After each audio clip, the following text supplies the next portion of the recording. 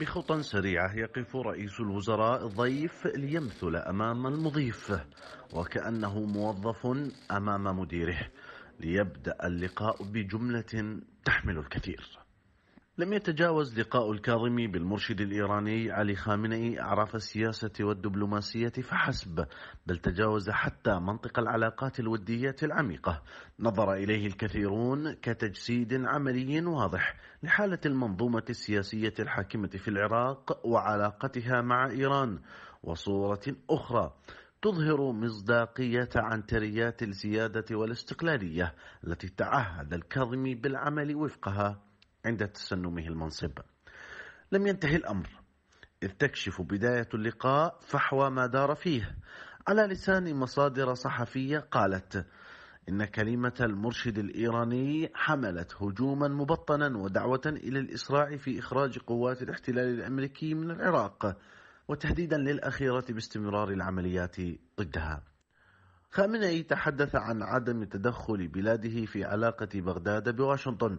ثم عاد ليناقض نفسه بالمطالبة بإخراج القوات الأمريكية من العراق ثم أكمل أمين مجلس الأمن القومي الإيراني علي شامخاني بالقول إن استراتيجية إيران هي الدفاع عن سيادة الحكومة في بغداد وفي ذلك إما حديث من باب السخرية أو الانفصال عن الواقع فالسيادة باتت أكثر شيء في العراق يفتقد مع تعدد الولاءات وسطوة الميليشيات والأحزاب الموالية لإيران على مفاصل الدولة.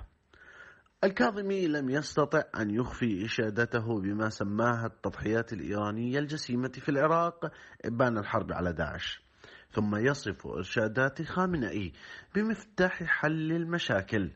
ربما سيسأل الإيرانيون أنفسهم لماذا يغرقون في الأزمات المتتابعة؟ وتنزلق بلادهم إلى الفقر بوجود المفتاح.